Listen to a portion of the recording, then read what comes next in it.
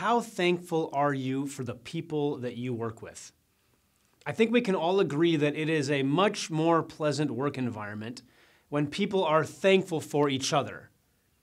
But what about when the mission is the gospel? How do you view your brothers and sisters in Christ, your, your fellow gospel co-workers? How do we view each other through the mission that we have been called to?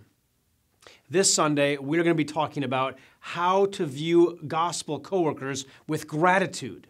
So I hope you will join us uh, on Sunday at Faith Church as we continue our sermon series on the book of Philippians and, and get to know a man by the name of Epaphroditus. I think you'll be very thankful for him, and I think it will help you to be thankful for others as well.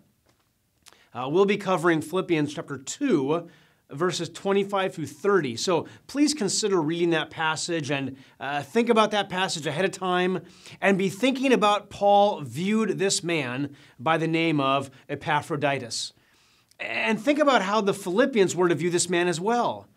There is a great deal of encouragement for us as we study this text, as we consider how to be thankful for each other, how to, how to be thankful and view each other and love each other in a way that Christ is exalted.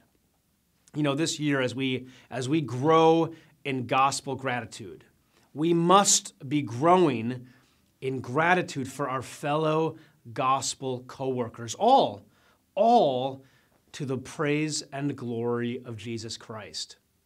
We'll see you on Sunday.